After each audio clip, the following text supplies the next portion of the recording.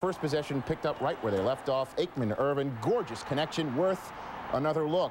Doug Evans with some terrific coverage on the part of the Packers, but Aikman and Irvin just too perfect there. However, the Cowboy drive would stall as it would all, all night. Chris Boniol from 45 yards away, he got it. 3-0 Dallas. Next Cowboy, same score, Emmitt Smith breaks one over. He's looking for daylight, and he finds it for 25 yards, a season high 25-yard run for Smith, 76 yards in all in the night. Dallas wants another touchdown from the Packer 19-yard line. Aikman looking for Herschel Walker, who's wide open, but he just can't get it. Dallas leads 6-0 after Boniol's 37-yard field goal is second of the night. Green Bay got nothing. Tony Tolbert bats down Brett Favre's pass. The screen pass to Keith Jackson, snuffed. Dorsey Levens gets the handoff and trips by himself. But Dallas and Boniol keeps going. 43 yards away for Boniol. He got it. 9-0 Dallas. Next drive, Dallas third and nine. Aikman finds the umpires back. So Boniol's had to come on for a 49-yard field goal. 12-0 Dallas. Favre has his pass batted down by Shante Carver. Dallas offensive coordinator Ernie Zampese. Looks like I picked the wrong week to stop smoking.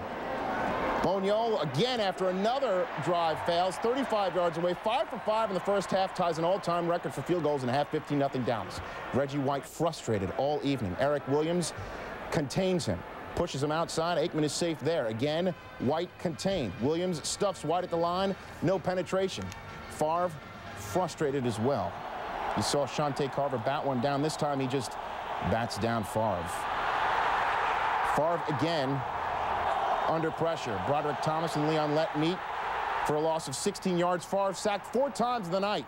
Third quarter, bad night all around for Green Bay. Pack trying to get on the board. A long drive, so they decide to go for a field goal. Chris Jacquiano, Boniol, you're no Boniol. Misses the 32-yard field goal.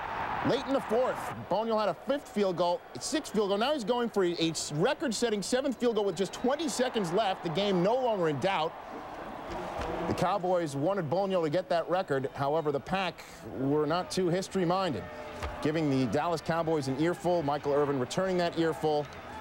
Barry Switzer amongst the scrum, not happy that his judgment was questioned about letting Boniol go for the record, which he did get. Dallas now tied in the